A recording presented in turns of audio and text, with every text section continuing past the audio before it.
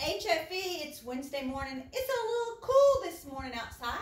As you can tell, I've just been up a little while, made my breakfast, and now I want to have some fun. So see if you can get your friends. I've got four of mine.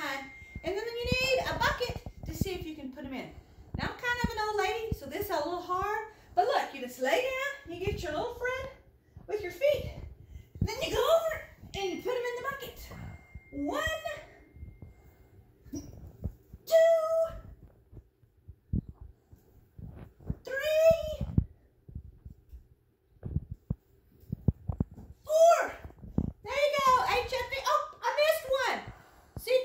it. And if you can, send it to an email to mkattner at hfhorns.net.